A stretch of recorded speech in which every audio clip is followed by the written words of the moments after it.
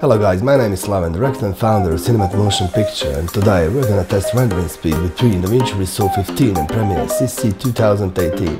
Recently, in my previous video, I compared those two popular editors and uh, you suggested me to do rendering speed test between them, which I think it's a great idea and very important for people who work with bigger projects.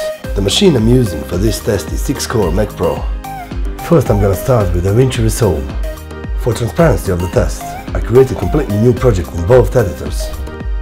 The source files are ProRes 422 and of course render files will be the same. The project is 1080p, but the timeline is a mixture of 4K and Full HD clips. And now I'm gonna do basic color grading, or better to say only color correction, which I'll paste through the entire project. For this test only I'd like to avoid putting mask gears and other effects, which could have influenced the final test results.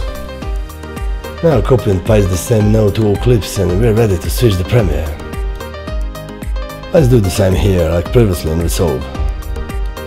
ProRes 42 1080p timeline. Of course the same files and basic color correction with Lumetri colors. And again copy and paste the same color correction to all timeline. Final project is a little bit less than 8 minutes long. So let's get started on this test and see which one's gonna win. Since Premiere doesn't use GPU for rendering acceleration, Resolve might be the winner, but let's see.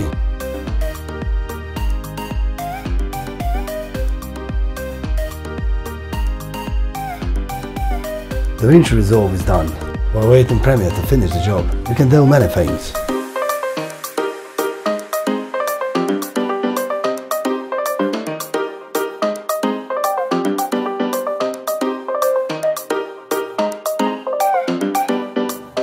And finally Premiere finished the job. Okay, all jokes aside.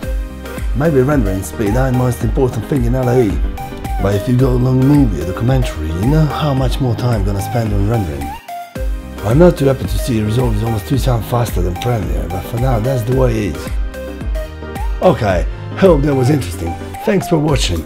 Please like, comment and subscribe if you like it and don't forget to click my bell button to be notified every time new video comes out. And like always, see you really soon.